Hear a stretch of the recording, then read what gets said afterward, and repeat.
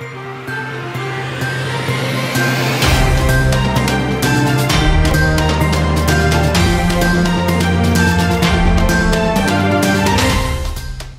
परिस्थितियों के दृष्टिगत, जहाँ एक और कोरोना वायरस के प्रकोप के चलते सामान्य जनजीवन अस्त व्यस्त है, वहीं दूसरी ओर, आपराधिक प्रवृत्ति के लोग अपराध घटनाओं में संलिप्त हैं। जिला पुलिस लगातार अपने कर्तव्य को करते हुए कमान संभाले हुए है और अपराधियों के हौसले पस्त करने में जुटी हुई है। ज़िले के युवा पुलिस कप्तान श्री प्रदीप शर्मा के कुशल नेतृत्व में थाना सारंगपुर की पुलिस टीम को अवैध मादक पदार्थ गांजा का परिवहन करते हुए तीन व्यक्तियों को दबोचने में सफलता हासिल हुई है।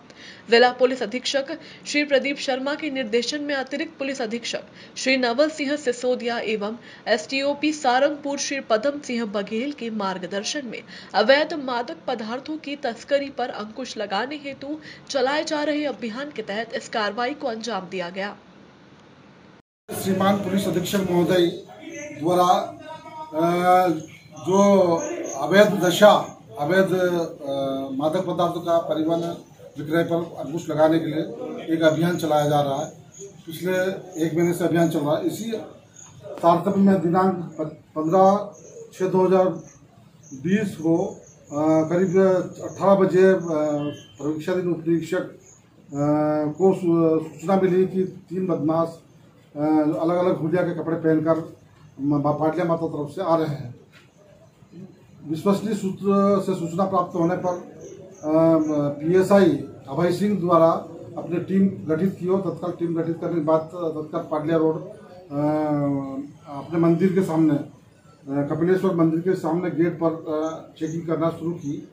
इसी दौरान दरमियान उसी मुखबिर द्वारा बताया हुलिया के तीन बदमाश, एक होंडा सिटी मोटरसाइकिल से आए।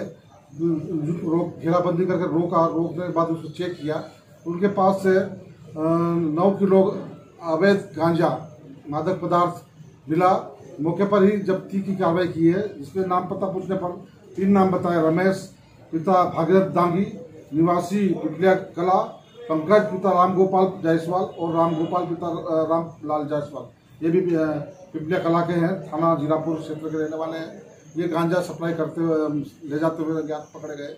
इनके खिलाफ आठ बटे बीस एन डी एक्ट कार्रवाई की गई है और अभी इनसे पूछताछ की जा रही है।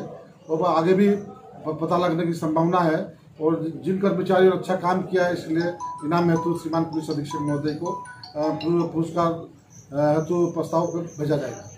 ठीक सर धन्यवाद।